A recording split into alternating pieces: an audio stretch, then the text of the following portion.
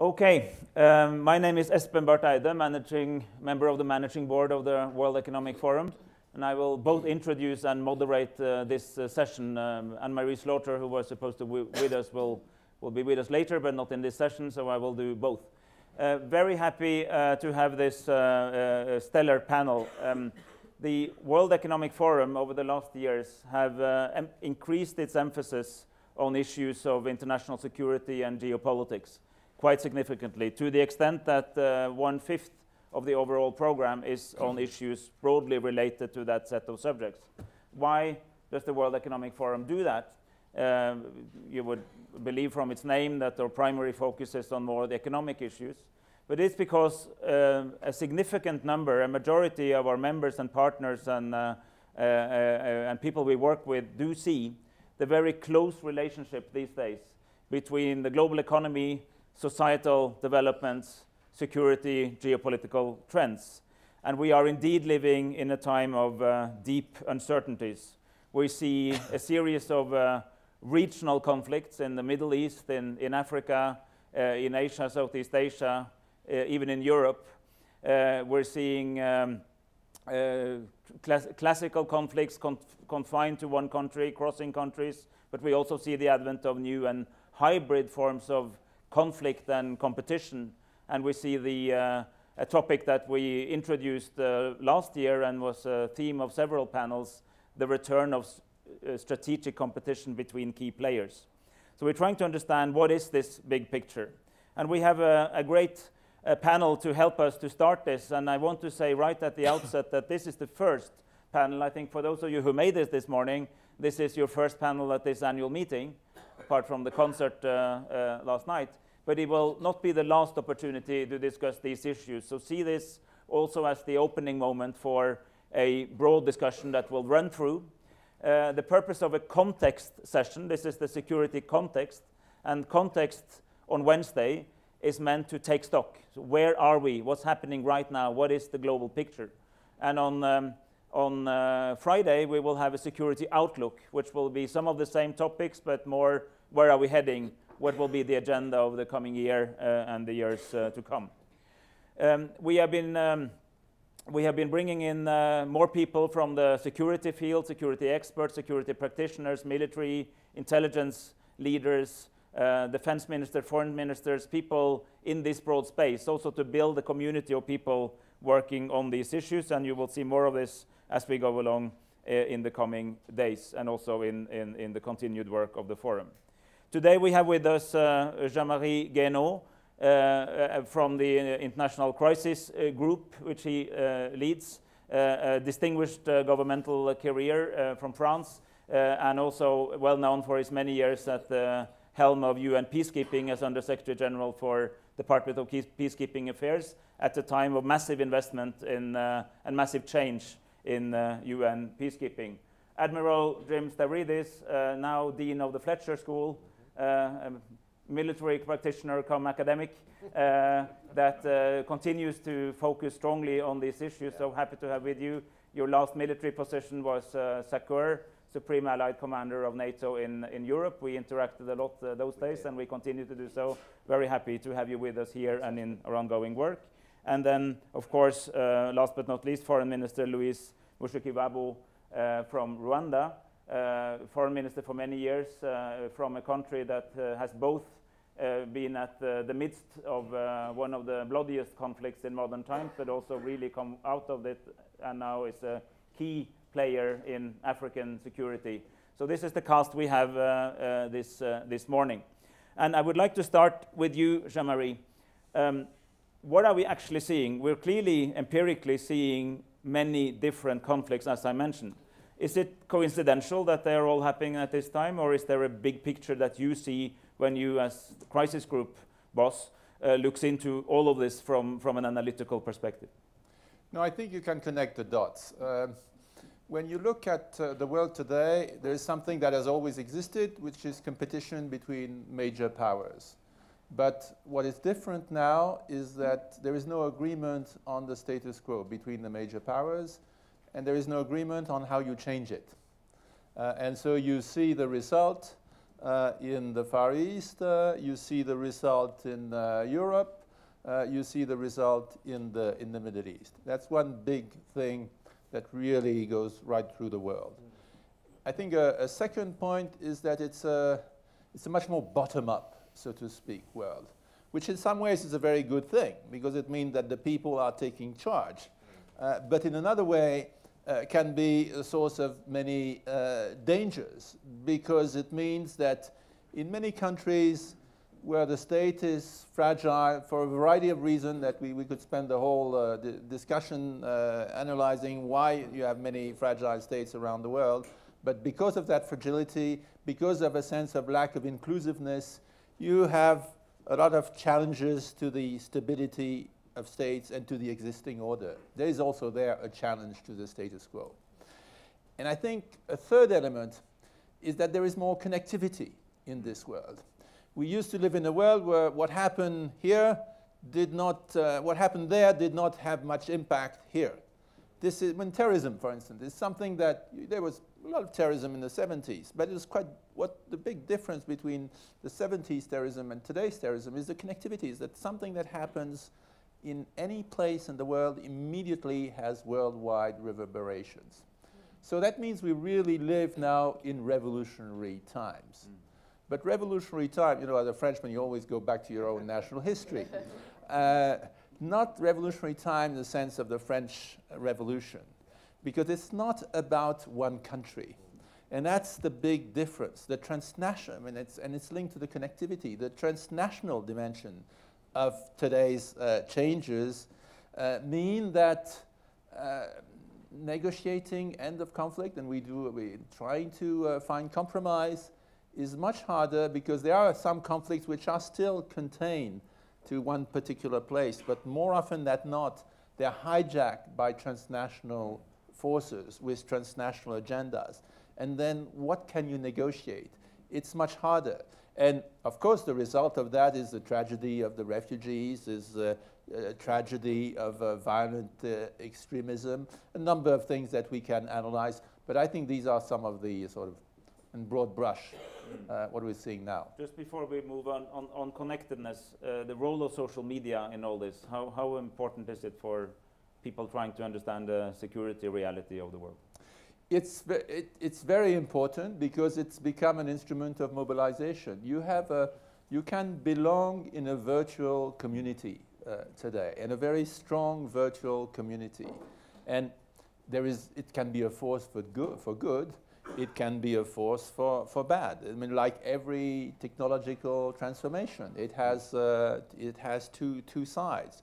And we see how, for instance, uh, Daesh mm. is recruiting uh, on the internet. Uh, when you look at today's terrorism, um, what is on the market for terrorism today? You, if you had been born, uh, if you'd been active 40 years ago, you would, uh, you'd have, would have gone to the Baader Meinhof or to the Red uh, Brigades. Today, if you want to challenge the established order with violence, you do it with Isla Islamic extremism. But how does Islamic extremism build its following? Through, in large part, through the internet when it comes to, to uh, highly developed countries. The reasons why you join Daesh are not the same when you are in Syria, in Iraq, or in France or Belgium.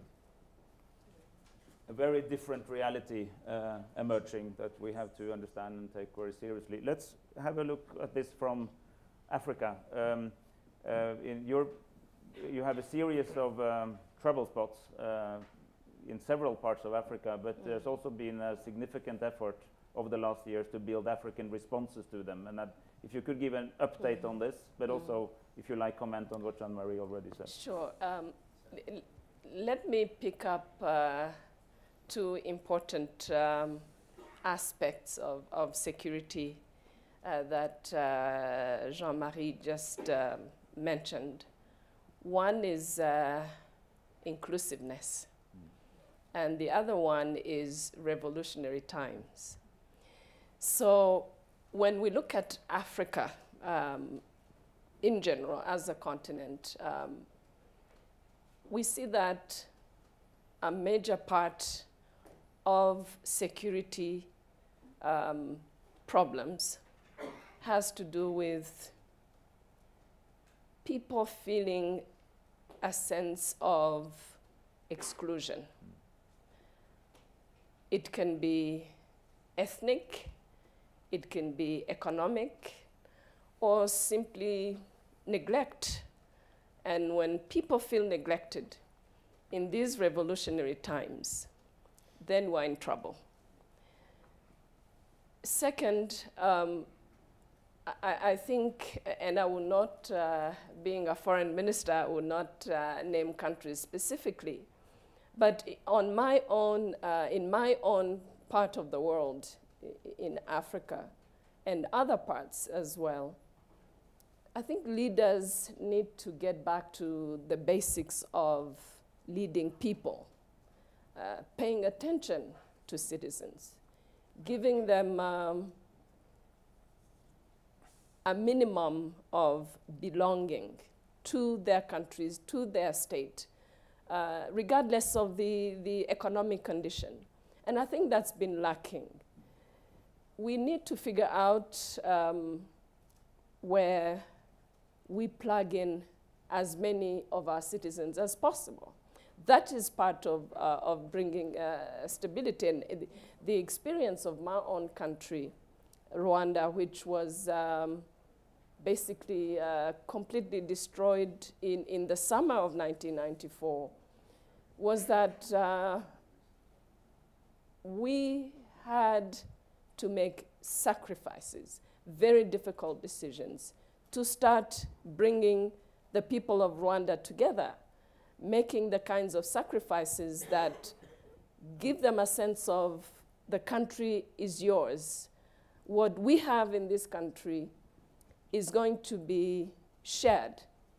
Um, it's not always equally shared. That's the reality of politics. Mm. But this country is yours. We will uh, struggle together. Um, and if you are in leadership, you have to do more than everybody else. So uh, we really look at uh, security, particularly in Africa, as, uh, as a very important part of just daily life. Do I have a roof on top of my head?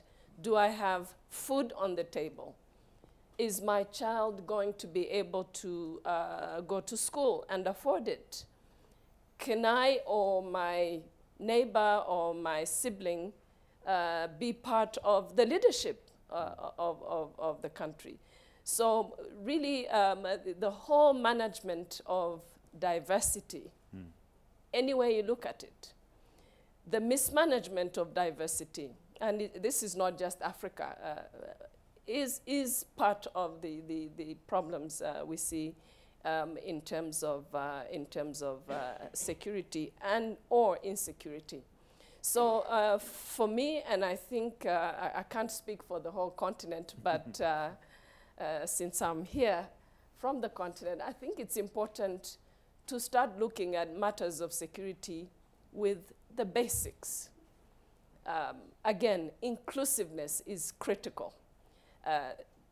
if, if for nothing else, every one of our citizens needs to own something, uh, needs to own part of the country, one way or another. Without that, um, in these really interesting times, whether it's social media, whether it's just pure revolt, um, it becomes very difficult to keep the countries uh, safe, to keep the countries uh, together. So that's an aspect of security for me that I think is important. What we have done in Rwanda, which has been a lifesaver in the last 21 years, is to talk to each other. And it continues today. We have even uh, made it constitutional to have a national dialogue every year, chaired by the head of state with everybody represented, teachers, um, um, business people, uh, government officials. So we sit down at the end of the year and kind of evaluate ourselves. Where are we going? And, and these are major sessions held in Parliament over three days. Citizens calling, um, messages on, on social media. Rwandans abroad across the world participate in that dialogue. So I think as we look at security as a very critical part of just being alive, uh, for me, I think it's very important to, um, to start with uh, what uh, could seem like smaller things, which is um, giving people a sense of, of life, giving people a sense of, uh, um, you know, of a future, of, of giving a, a some level of, of, hope. Even when we don't succeed, mm. it's important that most of our citizens feel that they are going somewhere, that they are not neglected. So I think inclusion, inclusiveness, um, basic, uh, basic economic rights are very, very important uh, for, for uh, not just security, but long-term stability. I, it, it, this is very interesting. Our uh, last week we presented the global risk report as the World Economic Forum does every year, one week before Davos. And what you said resonates perfectly with uh, one of the key findings, which is that we're seeing a global loss in trust, uh, social cohesion challenges to precisely the sense of togetherness that creates the sense of unity on which, let's say, a nation is built. And this is a phenomenon that is not only uh, happening in parts of your neighborhood, but also in Europe, for instance, that we see the social trust and cohesion is going down, inequality is going up, and the speed of change is now so fast that um, at least there's a perception among a lot of populations that the leadership and the regulators are not able to cope with the pace of change, and that creates you know, a, a downward spiral, which I think has quite immediate uh, and significant security effects. So I think these points are are very important. Be before we go to you, Jim, any of this that you'd like to comment upon from, from your perspective? Well, no, I think the inclusivity is, a, is indeed a key, a key point. And we see the, the problem is often that uh, it's about politics and then it turns into ethnicity. Ethnicity is manipulated for political uh, ends, and that's, that, then it becomes very, very dangerous. And, and, you know, 21 and a half years ago the whole world after the horrors uh, in, uh, the massacre in Rwanda, which, by the way, I know affected your family very directly and in tragic ways. Um, the whole world said never again. How, how are we doing? Because uh, immediately to your south in Burundi, well, we shouldn't compare one case to another, there are clearly mm. political mobilization of uh, ethnic uh, lines again. And does the world, uh, this is a leading question, of course, but does the world pay the attention it should to that challenge? Let me be cynical and say that uh, the never again has sort of become never mind. Um, but that said, and again, you know, what Rwanda is today is, is the sum total of its experience, good and bad, in the last two decades. Um, we countries, we leaders, um, must make sure that we are doing our best. Whether somebody else comes in to help, whether the United Nations Security Council does something or doesn't, it's very important that we count on our own good leadership. Give it a try, um, give the ownership that we were talking about. Um, otherwise, um, yeah, the international politics is, is uh, rarely local. Uh, and when it comes to some parts of the world, uh, like, like uh, Africa. So in, in Burundi, um, I would say, first of all, Burundi shares a lot with Rwanda. We're the same people. We're sort of twins. We, our languages are very similar. Um, and so Burundi affects Rwanda automatically. Uh, we have 75,000 refugees that just came in um, over a period of, of uh, two to three months. Um, and the sad thing in, in Burundi, which you know, needs to be addressed uh, sooner rather than later, is that a ruling party split. Uh, the problem was basically political. Uh, the party of the current president uh, split and many of the people around him left him. Uh, he fired them in the party, he fired them in the government, and they left the country. They fled, some of them to Rwanda, some of them through Rwanda to Europe and, and other parts of, of, the world. So that's basically the problem. It, it's the, this whole discussion of whether uh, the president should have run for a third term, whether it's constitutional, um, that's not really what the heart of the matter is. The heart of the matter is his party became very weak, and the people around him uh, gave up on him because they, they disagreed on whether he should be the one uh, to run again or whether it should be the party. So once we have that uh, political problem, and usually a lot of confusion about what's happening in Africa and uh, many cliches and, and so forth, then mobilization uh, for one side or the other uh, starts taking on uh, different shapes, including uh, ethnic shapes. It, we're not there yet. Uh, Burundi remains a deeply political problem, but the temptation is there.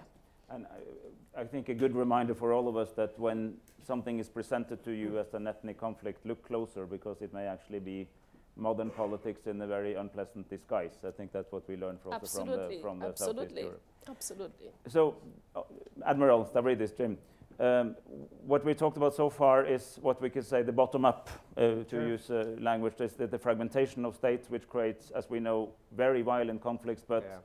because of inability to maintain cohesion and state. There's the opposite trend, mm. uh, which may seem paradoxical, but which reinforces this, I believe, mm -hmm. but where which is that strong states are competing mm. again, mm. maybe not at Cold War levels, but definitely more than 10 or yeah. 15 years ago. And some of that takes place in, uh, in Asia and East Asia, I think, mm -hmm. and also in maritime space. Yeah. Over to you. Well, let me begin by just saying thank you, and it's terrific to be on a stage again with uh, my former Minister of Defense. I was Supreme Allied Commander. Who knew would end up here? um, I'm, uh, I'm now the Dean of a School of Diplomacy, so I'll be diplomatic and say I think both of my colleagues are right which is to say, which is to say, it is great power politics, as we have seen over the years. But I really agree with Madam Minister that the overarching problems in today's world, I think, do stem from uh, inclusion was her term. I'd say it's the inequality piece tied with what Jean-Marie said about visibility. In other words, in today's world, you get to see how others are doing in ways that perhaps you didn't in the past. And I think that creates a lot of the, the firmament that Jean Marie is exactly right, that then gets manipulated as part of great power politics. Um, as I look around the world, we we sort of touched on Africa. We, we mentioned, and you can't get through a panel like this for more than six minutes without mentioning the so called Islamic State. Um, I'll tell you what I also worry about, and you mentioned Asia. I think uh, what is transpiring there, in particular on the Korean Peninsula, is extremely concerning. And we've seen a nuclear detonation for the first time in, in decades. Um, we have a young leader there who's very unstable. And it's in the middle, as you say quite correctly, Espen, of this, um, this, this cauldron of uh, tension between Japan, China, South Korea to some degree, North Korea to the north. Um, all of that kind of bubbles in a, in a great power way, but manipulating the dark memories of the Second World War and overlaying it are a sense of uh, challenge as these economies come online, the smaller nations around the South China Sea. So I think that pot is bubbling, and I worry about that a great deal. I worry about events in Africa, not only sub Saharan Africa, but in northern Africa, and its impact as it flows north into Europe, uh, coming out of Syria. When you put those trends together and you look at the pressure within Europe, I think that's extremely concerning as well. So that, that pot, if you will, is bubbling. But one thing we haven't touched on, which I worry about perhaps oddly more than anything else, is actually cyber. It is our, our vulnerabilities in this world. This is kind of the dark side of the globalization that Jean-Marie spoke about so articulately. And if we think about a world in which 9 billion devices are connected to the internet, by 2020 there'll be, you can almost pick a number, 20 to 25 billion devices. Terrific. We're all going to be very interconnected. There'll be great transparency. But vulnerability comes with that, and it allows these dark forces in asymmetric ways to try and uh, inject their venom into the system. So that's a, a little basket of challenges. I, I do want to close by saying something hopeful, if I'm allowed to. Um, You. Thank you. Um, I, I, I, think it's, I think it's worth noting uh, Rwanda, 20 years ago, was a nation that was indeed destroyed. And yet today it is, it is recovered in so many ways, recognizing all the challenges that go on. That's very hopeful. We mentioned an anniversary 21 years ago. Let's recall in Europe, 20 years ago, Srebrenica in the Balkans. The Balkans of 20 years ago looked a lot like Syria today, yet we've made great strides there. Albania, uh, Montenegro about to join NATO, Croatia in NATO, European Union. When we want to solve a problem in the Balkans, we don't reach for a rifle anymore, we reach for a telephone to call Brussels. So, my point is, as an international community, we can do this. And I'll close it all by saying Colombia which is a nation that's been fighting a 60 year insurgency. Juan Manuel Santos, I think, is about to deliver a peace deal there. So, despite all of the challenges in international security, I think if we work collectively, if we address these exclusion inclusion issues, if we are cognizant of the great power politics, we can make progress. Thank you for that. It's an excellent in, in this panel to remember this uh, tone of optimism that the problems have been solved before. Yeah. It may happen again. It's a caution, careful. Cautious yeah. We have Carl Bildt and others in the room who've been very much involved in the Balkans, and I remember from back then there were a, long list of experts saying this will go on, you know, Forever. for generations, and there's no solution. And well, guess what? It changed. Yeah, So, the comment was they've been killing each other for centuries and they always will. Yet, that is not what's happening today. There are still many problems, but we can do this. Both statements tend to be wrong, by the way. Exactly. uh, they were not killing each other forever. And not- Exactly. So that's good. But let's let's stick to this geostrategic competition again, because I think one phenomenon that a lot of our, you know, primary membership is interested in: how does this affect the global economy? Yeah. And, and just a suggestion from our side, and again to the risk report. I hope you now take note, download it, read it. It's a great report. But it's saying that there's a rise of the use of geoeconomic tools. Means that the instrumentalization of normally peaceful or economic measures in order to continue, let's say, continue war by other means. Sure. Maybe under the shadow of nuclear threshold, because Yeah. uh, after all, and thankfully, nuclear powers normally don't like to go to war with each other, so they do other things. Uh, can you expand on this? I can, and I'll, I'll start by returning to cyber, because this is precisely why I think our vulnerabilities are so extraordinary there. The barriers to entry to using that tool are lower than we have ever seen for a potentially destructive mechanism like that. In other words, we have the greatest mismatch in cyber between level of danger very high, level of preparation very low. That's extremely concerning, and I think it bleeds into the geopolitical because if you want to pull that tool out and use it, uh, you can do so, and it's even difficult to, to attribute it. So, an example would be the Sony Pictures attack when Sony Pictures made a movie kind of mockingly of the young leader in North Korea, cyber attack on Sony, $300 million in kinetic damage, more damage to its business reputation, difficult to attribute precisely, probably came from North Korea, using cyber to have geopolitical impact and economic sphere.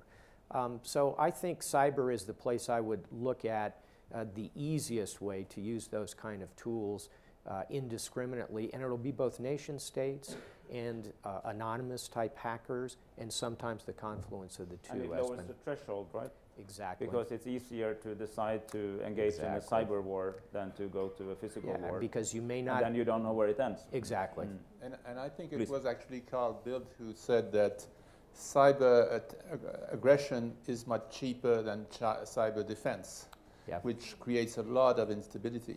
It's much more Mm. expensive to protect oneself against cyber Indeed. attack. And if you want to look at the very dark side of the spectrum, and I guess that's what we do here, it would be attacks on electrical grids, Mm. which uh, we've just seen a little taste of that in Ukraine. Again, difficult to attribute, don't know where it came from, but the ability to take down segments of the electric grid um, potentially over long periods of time can have obviously enormous economic impact on societies. Very worrisome.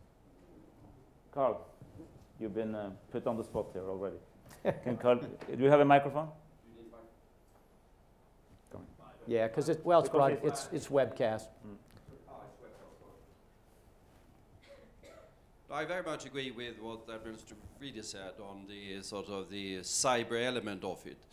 Immediately after, if you go back to European issues, immediately after Crimea, hybrid warfare was the sort of thing that everyone talked about.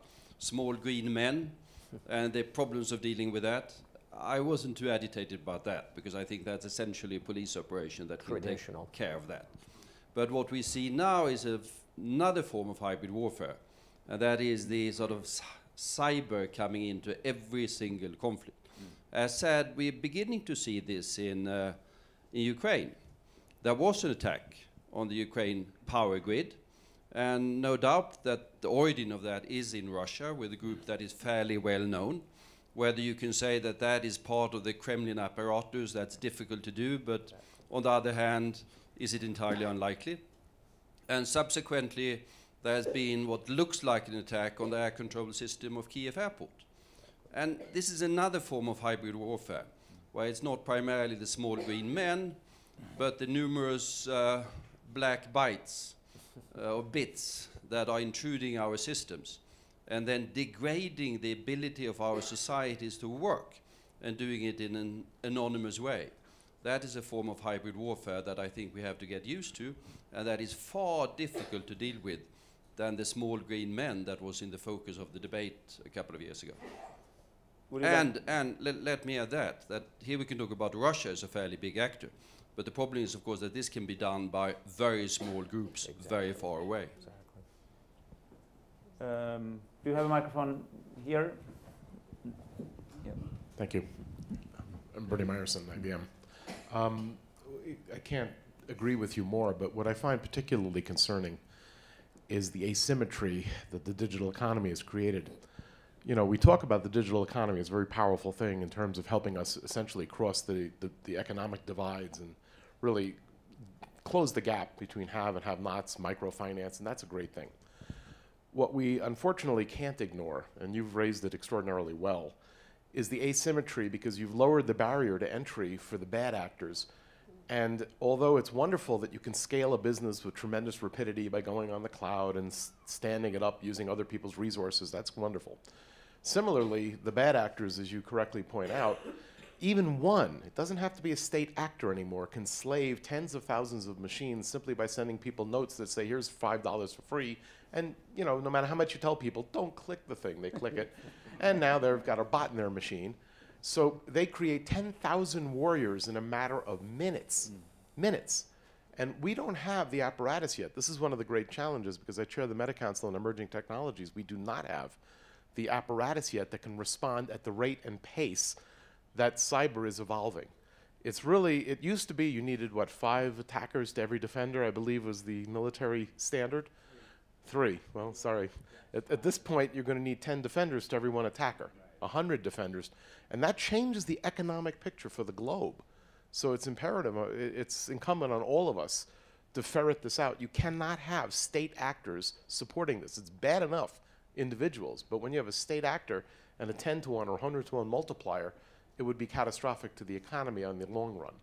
So it's, it is a challenge, and I think you, you've Bernard. raised it well. And oh, let me use this opportunity also. Bernard is one of the people we work with on, on thinking through the say the, the cyber uh, security threats and also the whole new, you know, so let's say the dark side of the fourth industrial revolution, which is not only cyber but is cyber plus a number of other technological advances, which has the very unwelcome effect of democratizing the access to massive destruction and changing, as you said, the order of uh, attack and defense, which of course weakens the role of the state in the world compared to other actors. And I think that that's a m- many, there's many examples of that, and there will be other panels where we will discuss this in deeper detail. But as a teaser, if you're not worried enough, there's more to come uh, uh, uh, on this front. um, I, I want to move over to the issue of violent extremism in a second, but um, could you, just as a military reflection on these issues, what does it mean to, let's say, to military thinking, military theory, military preparedness? Uh, well, on the one hand, uh, cyber is a continuation of what's been traditional in the military sphere, which is um, the interplay of offense and defense. Mm. So knights in armor be, are overcome by archers shooting long arrows at Cressy. Um, the uh, mass male formations are overcome by tanks in the Second World War. Um, the nuclear weapon arrives on the scene, and somehow we've managed thus far not to use one, uh, other than at the very end of the Second World War. Um, but offense and defense continue to go back and forth. As Bernie points out correctly, at the moment, offense is a lot easier. So you really have two choices from a military perspective. You amp up the defense, and you need to do that. You need to work that piece of it. And there's a, a whole realm of things within that, both technological, protocols, and so forth. And then you also have to consider, Espen, how do we inculcate a regime of deterrence on the offensive side, state to state, because these, these weapons, and they are weapons, are moving toward the level of mass destruction. They're not, they're not there yet. But over time, we're going to need a regime in place similar to what has prevented the use of nuclear weapons to use the prevention regime in the case of cyber. So we've seen it before. We're going to need to apply some of that as we go forward. Uh, but I think it will consume us in a security way uh, in the decades to come. Where would you see that regime emerging? Where would you look to see if it's there or I think it'll. I think it'll start um, between um, the major cyber powers, who not purely coincidentally happen to be nuclear powers. So. Uh, dialogue, I think, principally initially between the United States and China is called for in this regard. Uh, Russia is a significant cyber actor. Some of the NATO countries have significant capability in this regard. Um, but I think it'll have to emerge bilaterally initially. But it is possible to me that there could be some kind of an international discussion about it. Um, and this is a bit of a metaphorical stretch, but not completely differently than what we saw in the creation of the Law of the Sea, the United Nations Conventions on the Law of the Sea. Long term, we probably need something like that in the cyber world. But initially, we're going to have to address the use of weapons of cyber, I think, in bilateral, trilateral kinds of mm. ways between significant actors. But if I may say, that's in a sense the classical answer. Yeah. You look for states to regulate again. Yeah. I, I wonder if we actually need more than we need that, but more. That this is also a dialogue for Google and Amazon and, and Alibaba and no uh, question. and, and IBM and so on. This is both. Much of the infrastructure is private. Yeah. And, and much of it is global in the sense that while the company may have a headquarters, some of it in the US, it's not American companies in that sense. Absolutely and, correct. And, and, and so many of the victims of this activity are not necessarily a, another country, but it's a global infrastructure. And in, right. in the World Economic Forum uh, outlook on the world, we need a multi-stakeholder approach to yeah. this, which we actually would like to facilitate. Yeah, and we need to probably begin by defining within our state system who's defending whom. Mm. Um, in other words, when a, a, company, a private enterprise is attacked in the cyber world, is that a state and national responsibility to defend it? Mm. Um, we have not really worked through that. I, I, often say to people, if North Korea had sunk a Carnival cruise liner worth $300 million, the responses would have been fairly obvious but they did $300 million worth of kinetic damage to a commercial entity mm. in the United States, and the responses are not so obvious. So this is another factor. But you are absolutely correct to point out the private-public nexus in the cyber world is crucial alongside the state discussion that we're having. Could we say, uh, we're open to questions. If somebody has a question on this before we move a little bit. Somebody right behind you. Mm. Um, you talk about the dialogue that's necessary. Microphone because it's webcast. Um, Admiral Stavridis, you talk about the dialogue that's necessary between Russia and China and, and yeah. the U.S. on the cyber issue. How do you address the great divergence in how um, these powers think about cyber problems? In the West, we tend to be very focused on the kinetic impact. When you look at the Russian doctrine or the Chinese doctrine, they think about information operations. So the Russian president has often said that a blog post that's critical of the Russian government he considers to be a cyber attack. Obviously, something that's very core to the Western values. Um, well, first of all, even defining a cyber attack um, is something that doctrinally we have not concluded. It does run on a spectrum from uh, a blog post, if you will, at the very lightest end of it, to taking down a nation's electric grid. I think we can all agree uh, the latter is certainly an attack. Uh, we can, most of us agree, the former probably isn't. There's an awful lot in there in terms of data disruption, data manipulation, uh, creation of further kinetic effect, but less than electrical grid. So we've got to start by defining that uh, level of attack. As to how we do that, again, uh, there's no mystery here. It's going to be this is where we roll up our sleeves and use good old fashioned diplomacy and dialogue. Um, we, we cannot afford to stumble uh, into a cyber Cold War, uh, but I fear that's where we're headed. Couple of, um, Susan Levin, yeah. Thank you so much. I especially appreciate the comments before on inclusion and on equality. Mm. And my question to you really stems from what do you see as successful efforts globally to try to promote that, especially given that social media is now helping people understand their levels of inequality or what's happening around the world and what others have versus they may feel like they are the have nots or inclusion. And so, what is happening now from a security standpoint to increase inclusion, to improve jobs, to help people choose a path of productivity instead of de- destructivity so that those individuals, for example, who may be computer science interested are focusing on creating apps mm. instead of creating hacks? That's a, that's a great question. Hold your answer a second. Is, the next question is: Is this to the cyber thing, or is it to the? Cyber. So we stick to cyber, and well, because I wanted to go to those issues as we come to the end. Yes, it's you. Uh, I have a prediction to share, and I'd like to your opinion whether or not you believe it's uh, more or less accurate. I think the cyber attacks will continue for the next 50 years uh, at very uh, intense level. And this number is the uh, number of years the current users of Microsoft Windows operating system will continue using the system, get, uh, uh, get retired, and become real old. And after that period, I think uh, number of cyber attacks will subside because it will be easier, uh, will be more, much more difficult to conduct them when the other operating systems like open source Linux is used. End of question. You have the answer to the problem. Excellent. Uh, all right. Um, any comment to that particular? I, I think it, ma it makes the point very well that technology will change, it will adapt, adapt yeah. and there are going to be uh, new ways of thinking about this in 50 years. The one I would add to this is it is going to be the merger of what today we think of as information technology and biology. Mm. And, and this, I think, is really uncharted territory as we think about uh, how those two connect. Ray Kurzweil, the singularity is near, the fourth industrial revolution, et cetera. Big changes ahead, and, and he's absolutely right. We should not over focus on the modalities of the moment, especially in this sphere. On the connection to bio, we're looking into that. And a, um, an interesting observation is when, when you in order to get nuclear weapons, you need fissile material. There are certain ways to control that.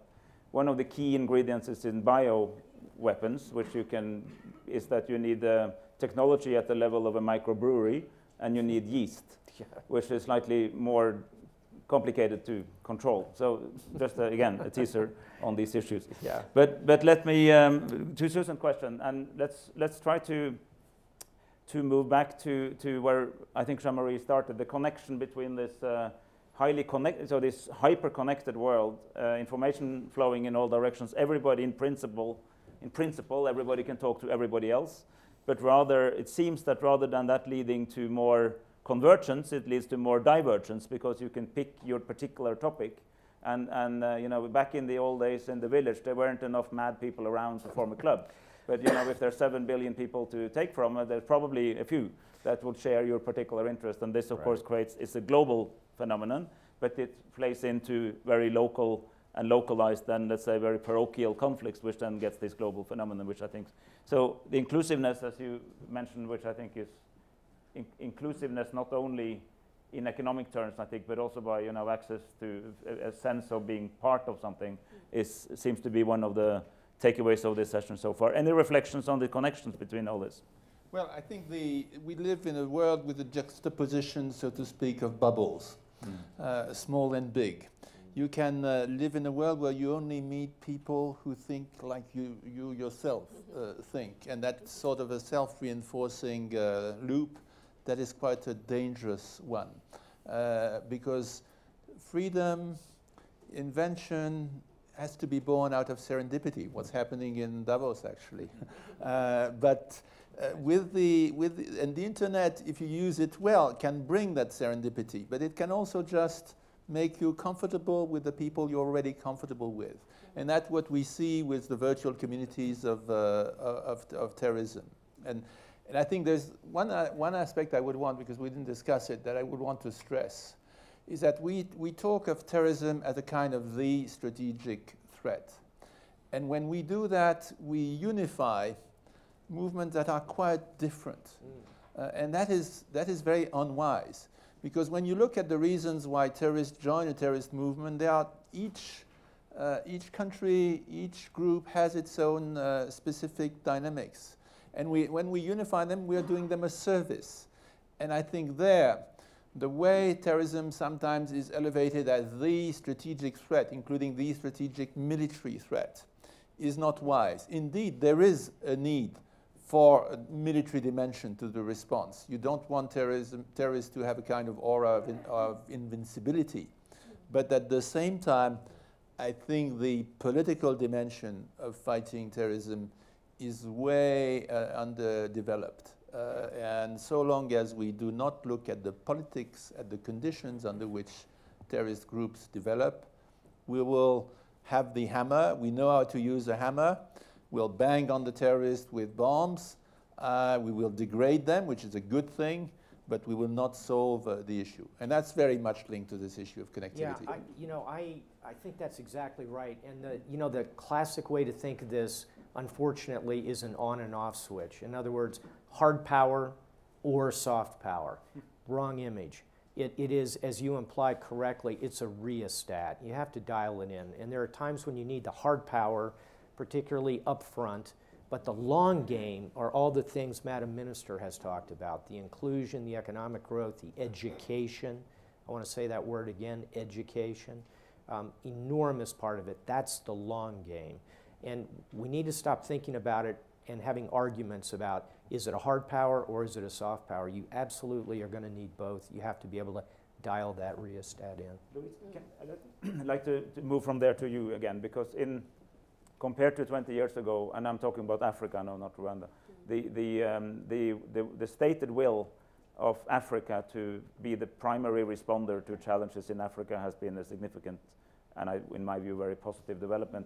So I'm sure in the African political circles, African Union and so on, this conversation must be a frequent conversation. How do we, what's the right response? You know, in the Horn of Africa, in, in Mali, in CAR, uh, wherever these issues pop up, how do you find the right combination of hard power and soft power in reality? And what's the, what's the discussion you are a part of in the African continent on that issue? Indeed, I, I think, um, well, I know in, um, on the African continent, um, there are many conversations going in, you know, crisscrossing and, and all trying to figure out uh, how to use power uh, properly, soft power, hard power. Um, but uh, my, let me just inject my, my own uh, personal uh, thinking. When, and it's, it's, it's part of uh, what Jean-Marie was saying about giving importance and linking the bad guys. Uh, in fact, I personally think it's wrong to um, to keep broadcasting the beheadings, and I, I just I just find it um, a way of uh, giving the bad guys what they want, and I, I just disagree with it. But in the discussions uh, on the continent, one of the things we've been looking at is, is first and foremost to understand that it is in our power to do a number of things, not to do everything, but we're capable of um, dealing with uh, some of the conflicts, uh, some of the violence, and from there decide how to do it. Um, in my part of Africa, which is East Africa, uh, we decided within the bigger African Union um, uh, goal of creating these um, uh, standby forces uh, to quickly uh, get commitments uh, from each one of the, of the 11 or, or 12 countries in, in Eastern Africa. So that conversation itself revealed that there was conviction on the continent that we're not doing some of the things we could be doing to, to secure our space, to secure our economic uh, uh, gains. And it's, it's more a matter of getting organized and making it a point to, to sit down and, and figure out what to do. So with uh, the, East, uh, the Eastern Africa region, for example, um, we managed to put together a standby force, the Eastern Africa Standby Force, uh, with strong commitment from small island countries like uh, Seychelles, for example, countries that have no armies, um, so to speak, but with their own commitment, whether it's money, whether it's um, uh, expertise uh, of, uh, different uh, types, bring everybody's strengths together. That in itself has been a, a deterrent. Unfortunately, I wish uh, the, the continental and global politics uh, had allowed us to use the standby force in Burundi in the beginning.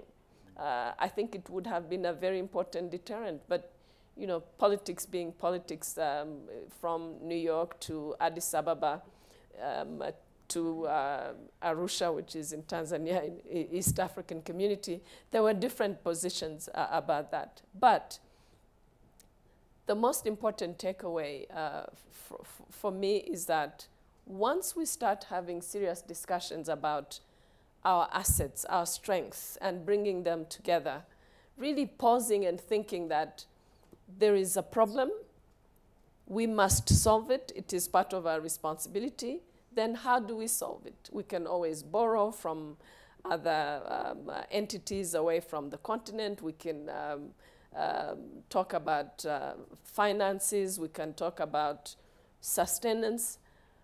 But the most important thing is, is to have that conversation.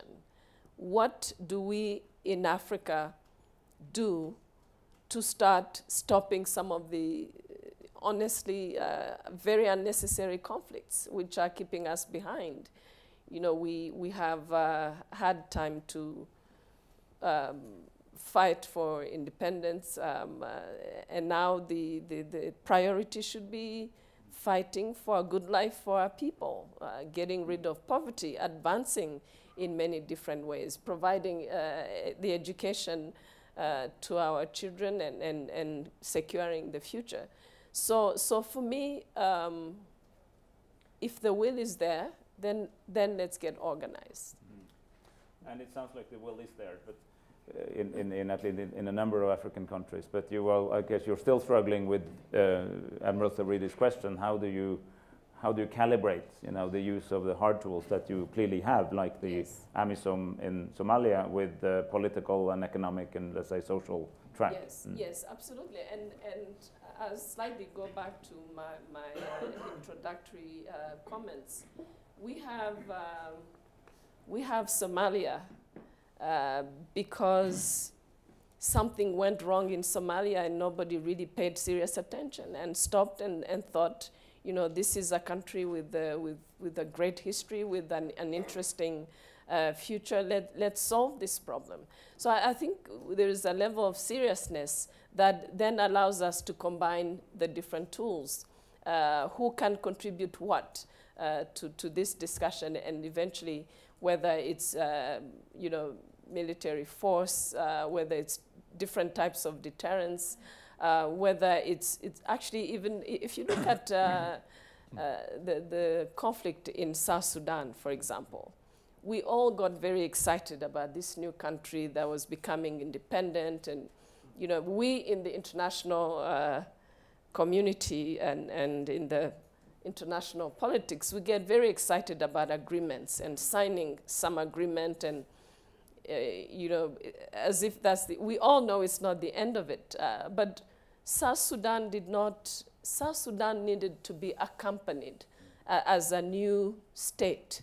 South Sudan today uh, has been suffering from not moving to the, the, the whole notion of a country, a nation.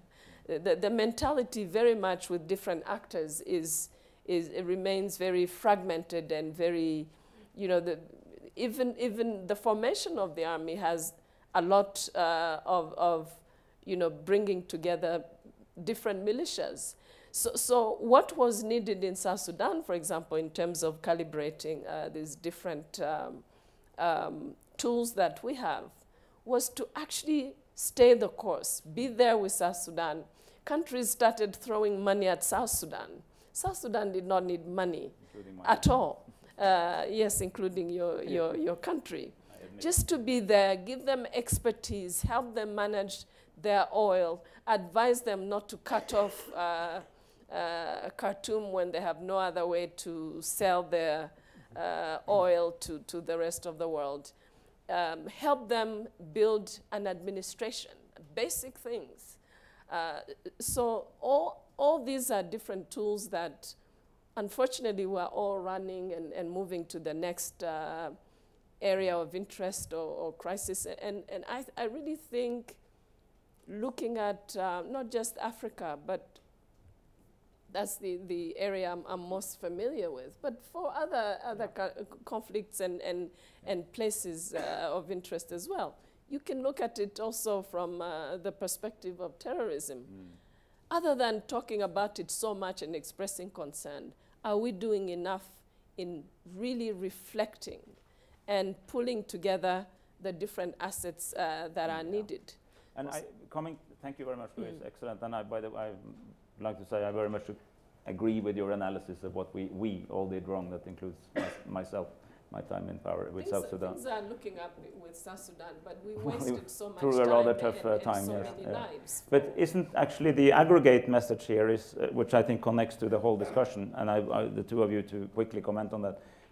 Despite of globalization and connectedness, people still live in states, mm -hmm. and if this, you get the state wrong, as South Sudan and so many other places, yeah. you can't really it doesn't help you that you be, you're online and you're connected to the rest of the world. It yeah. doesn't make it any better. Exactly. We still have to understand that the international system requires order and structure and politics yeah. at a state governmental level.